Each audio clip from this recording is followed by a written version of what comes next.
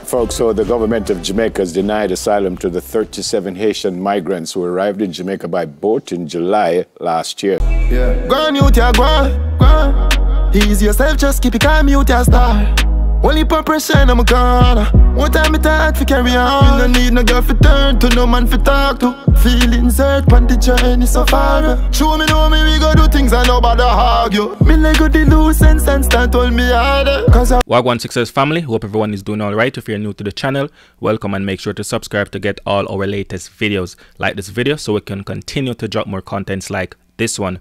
Alright, so Jamaican government denies asylum to 37 Haitian migrants amid escalating gang violence. A call for reconsideration and humanitarian action. The 37 migrants are being represented by Malene Alleyne, the esteemed founder of Human Imaginaries human rights group, who is poised to launch an appeal against the Jamaican government decision.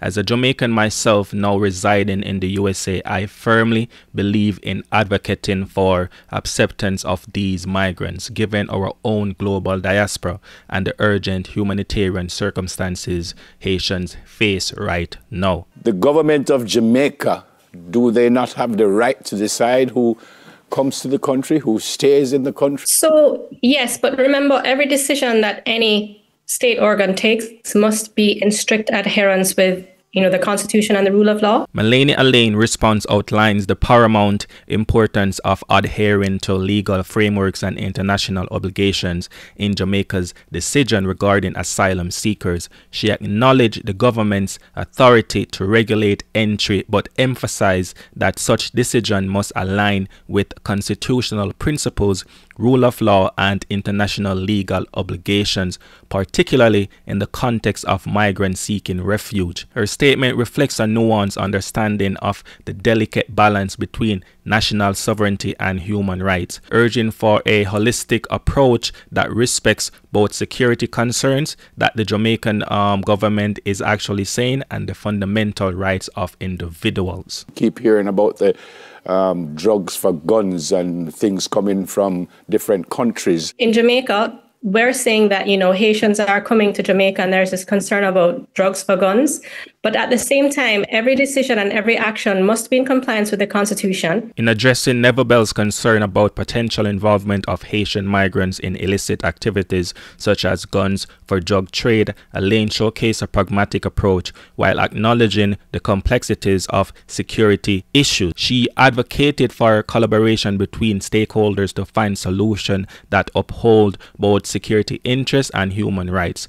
This nuanced stance demonstrates Alleyne's willingness to engage constructively with the Jamaican government while advocating for the protection of asylum seekers' rights. Many Jamaicans may not be familiar with the process of seeking asylum and how it works and how a government determines who it will grant asylum. So, asylum in Jamaica is, is governed by a refugee, uh, refugee policy, a 2009 refugee policy. When discussing the asylum process in Jamaica, Alleyne provided insight into legal framework governing refugee protection by referencing the 2009 refugee policy and the prohibition of refoulement. She highlighted the legal obligation to provide asylum to those fleeing prosecution. However, her critique of the current asylum procedure, citing lack of transparency and accessibility for vulnerable migrants, to which we know are the kids that makes up the 37 refugees, her commitment to ensuring that Jamaica's asylum system upholds international standards of fairness and due process. And on what grounds are you uh, filing an appeal of the decision of the Jamaican government to not grant asylum to these 37 Haitians? These are applicants that didn't even have an opportunity to appear before the eligibility committee that was convened to consider their applications. Alleyne's appeal against the denial of asylum for the 37 refugee is grounded in concerns about procedural irregularities by pointing out flaws such as the absence of an opportunity for applicants to represent their case before the eligibility committee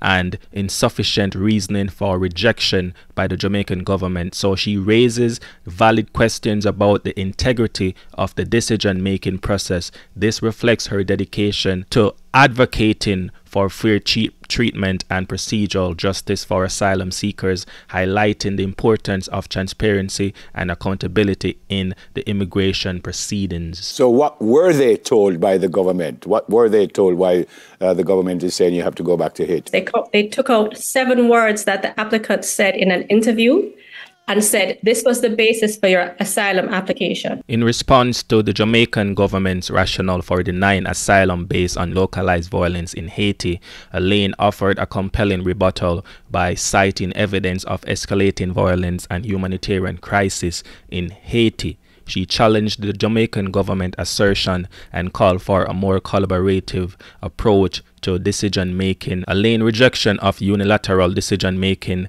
outlines her commitment to dialogue and collaboration in addressing complex humanitarian issues emphasizing the need for evidence based and rights respecting policy. I personally love the articulation from Alleyne and I she, and she handled this interview with eloquence and I implore and urge the Jamaican government to accept these asylum seekers, accept these 37 individuals from Haiti because we should be helping them. We should be helping them. Allow me to play devil's advocate, but before, before I do, I hear you mentioning solutions. And I, I, do suppose that based on what you've put forward, that some of those solutions to this issue will come through the due process to which the, the Haitians um, are entitled under international law. Um, and we are also neighbors, really. But the, here's the devil's advocate question. Does this not open the door for, or open some kind of potential floodgate? Um, once we, let's say we get to the end of this due process and they, they are allowed um, to remain here uh, as refugees, then aren't we now opening our shores to, to, to, to a flood, so to speak, of, of Haitians seeking you know, a, a means of escaping their situation? Yes, and you know, I, I understand those concerns. Uh, and what I always like to do when faced with complex issues is to just go back to, to first principles.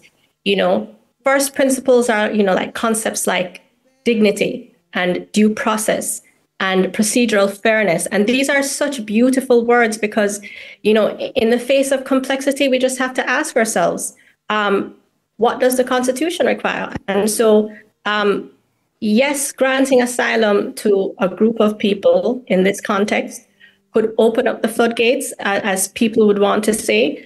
Um, but they've done it for other migrant groups. They, for Venezuelans fleeing persecution, they have established procedures where they can access territory and, you know, get access to humanitarian assistance. I have never once heard any argument about floodgates when it comes to Venezuelans.